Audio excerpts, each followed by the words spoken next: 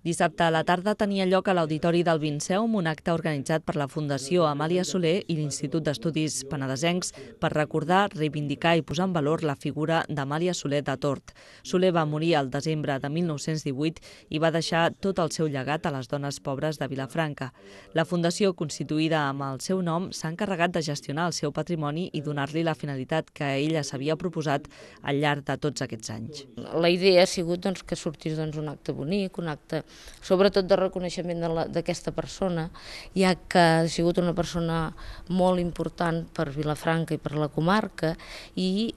i tan important com desconeguda, com també passa amb tantes altres dones que han fet tantes coses i malauradament doncs, no, no es reconeixen. La coordinadora de la Fundació explica que en aquest camí que ha iniciat l'entitat per donar a conèixer la figura d'Amàlia Soler també s'ha fet una investigació per constatar on està enterrada eh, hem recuperat el que és el panteó familiar del cementiri doncs, de la família Soler,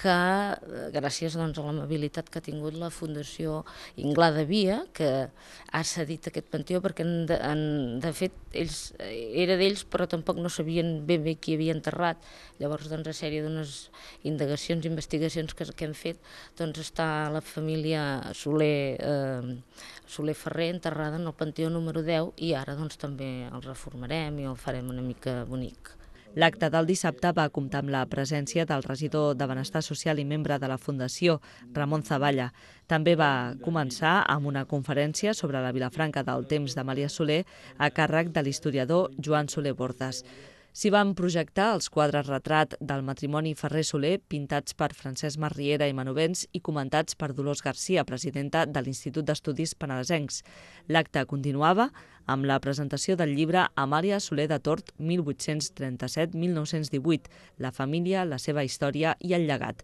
obra de l'historiador Daniel Sancho París.